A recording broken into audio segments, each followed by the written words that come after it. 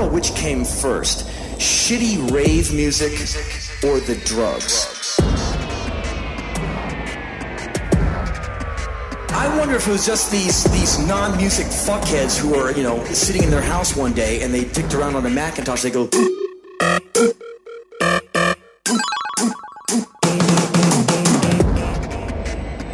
on a white label 12 and send it to the clubs. Wow, man, you're brilliant. We'll put you on the cover of NME. You're fucking genius, man. You're fucking genius. Oh, wow, it's jungle trance hip hop fucking shit music. So you make music that shitty and everyone sits around and goes, God, this sucks. No, no, take these drugs.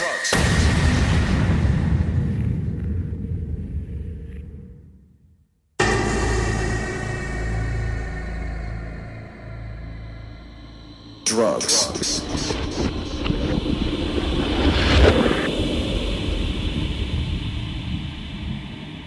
Play the play the record again.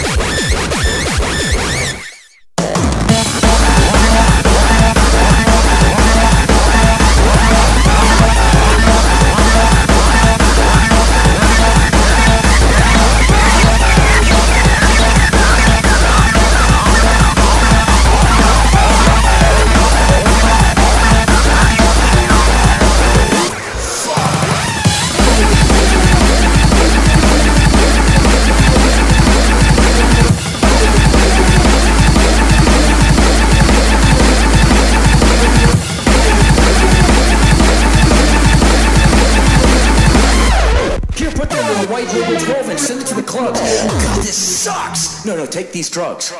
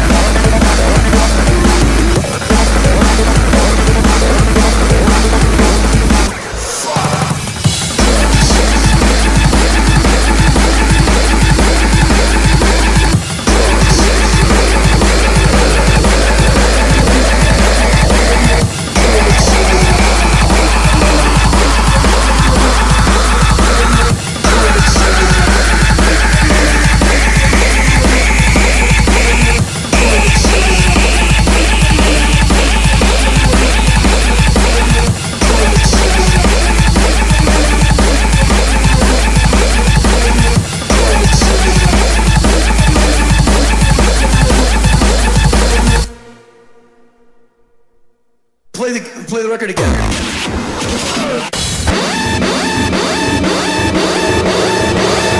That's so good.